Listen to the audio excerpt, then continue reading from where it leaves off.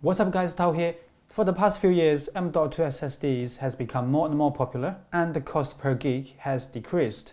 Now the M.2 slots on the motherboard ranges from one port to up to three ports on the Ryzen motherboard, but different manufacturers have different a way of managing the bandwidth between the processor and a chipset. Now today, let's use one of the MSI gaming motherboard just to explain how the M.2 slots are managed between the CPU and the chipset. Um, hopefully by end of this video, uh, we will have a clear idea on how the M.2 slots are managed uh, on the motherboard. Um, that's only if you have a motherboard has the M.2 slots on it. So let's dive right in.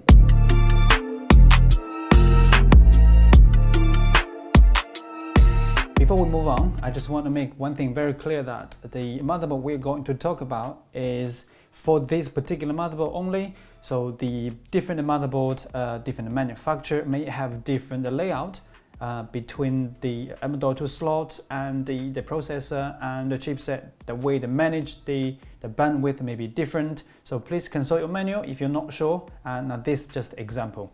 Okay, the motherboard we are going to talk about is the MSI MAG B550 Tomahawk. Uh, in my opinion, uh, this actually is an affordable mid-range gaming motherboard that supports the PCIe uh, Gen 4 uh, for the M.2 slot. I think it's really, really nice. Uh, it supports the AM4 socket. Now, one of the things I quite like about um, what MS MSI is doing that um, on the manual, there is a, a, block diagram or the motherboard diagram and just to explain what is controlling what. So whose responsibility is controlling what. I think this is a really, really good idea uh, for the user to understand better um, of how the motherboard control everything. I think um, all the manufacturers should be doing this, but I'm saying that the Gig might also have a diagram for the new lineup, I think is also very, very good idea. Now for this um, particular motherboard, you can see here, now the processor have direct access to one of the M.2 slot and the other one M.2 slot here is controlled by the CPH, uh, sorry, PCH, Platform Control Hub, uh, which is the B550 uh, chipset. Now, bear in mind a different motherboard even within the uh, MSI range. The X series motherboard may be different, like X570, they might be different so check your manual if you're not sure and if you encounter a conflict. But this particular one, one's controlled by PCH, one's controlled by the processor. Now, this just give you a general idea how uh, the how the motherboard controlling different bandwidth. Now, the this is the overview of the board. Uh, let me just do this. This is the overview of the board. So there are two M.2 slots and one direct below the processor, M2 underscore 1, and the other one is near the bottom, the, uh, the motherboard M2 underscore 2.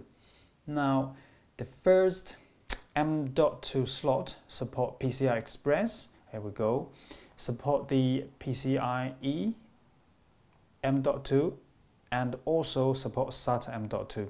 So which means it doesn't matter what you plug into the first one, it will work regardless. Now, the second one is where things get tricky. If you use the, or if you plug the M.2 to the SSD to the second slot, which is this one, so the PCI Express lane, there are two of them, the second lane and third lane will not be available. So according to this, this table here, if you plug a PCI Express um, full speed M.2 SSD to the M.2 underscore 2, which is the second slot. So the second PCI Express lane and the third PCI Express lane will not function according to this table. So which means if you do want to use any other PCI Express devices and also use both M.2 slot at the same time, you may encounter an issue. However, if you just use one of the M.2 slot, which is the first one, um, you have no issues whatsoever because that is not in use.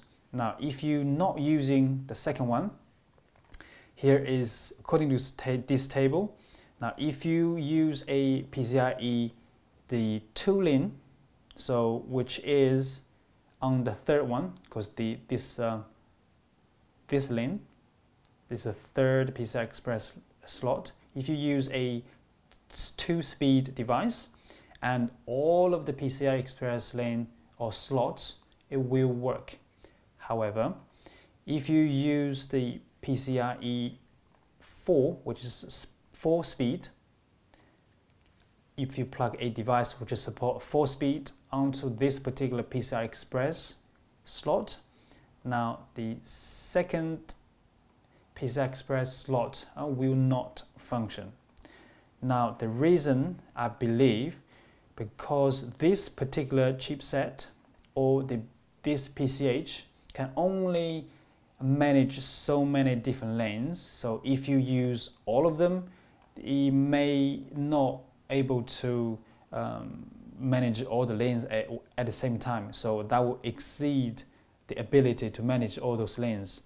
Um, but then again, bear in mind um, different, mean, different motherboards uh, within MSI, they have different um, management. So this just for this particular one. Right, I hope everything actually makes sense. So in a nutshell, if you use both M.2 SSDs, so be careful with this, the second and the third PCIe slot, so it will not be functional. You can only use the fourth one. Now if you just use one the M.2 slot, which is close to the processor, uh, you shouldn't have any problems at all.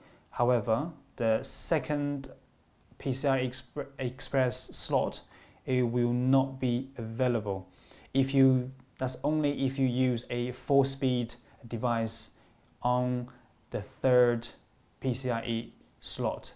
So looks like it's quite complicated, but you know, if you get your head around it, so this is quite clear. So to understand, um, most people they don't really use all of the PCIe slots, but if you do, for example, use a sound card, a sound card support a um, one speed PCI times one speed, so you'll be fine. So all the PCI slots will function. But if you, let's say you plug a PCIe 4 speed onto the third um, slot, so you cannot use this, you cannot use this M.2 slot at all. You can only use one of them. So you need to weigh up which is more important, is storage is more important, or the PCI Express lane uh, slots are important. Now, interestingly, um, this particular motherboard doesn't really mention about these SATA ports. Um, this sound lo looks like um, looks like there's no conflicts between the SATA ports and M.2 uh, slots, so which is good news. Unlike the Gigabyte motherboards, a lot of them uh, they share the same um, bandwidth. So if you use SATA, the M.2 slot will be affected. So yeah, uh, hopefully this makes sense and hopefully this actually uh, make the uh, uh, motherboard a little bit easier to understand in terms of M.2 and the PCI Express. So yeah. Alright guys, that's been it and hopefully this video helped you guys just to understand your motherboard a little bit better, especially the M.2 slot and the PCI Express lane and the processor and the chipset, everything combined together. Um, now bear in mind a different manufacturer have different way of rendering them, a different way of managing them. For example, ASUS and Gigabyte and ASRock, they may have different way of managing their motherboard, the managing the bandwidth. Now, even the MSI range, um, the Intel chipset may be different from the AMD chipset. So if you're not sure, please read your manual. I understand that nowadays not many people bother to read the manual anymore. Um, I think the manufacturer can make it a bit more interesting to read, maybe more pictures and more diagram. It just make me more interesting. Um, that's my opinion. So yeah, so that's been it. So hopefully you guys enjoyed the video. So see you guys in the next video.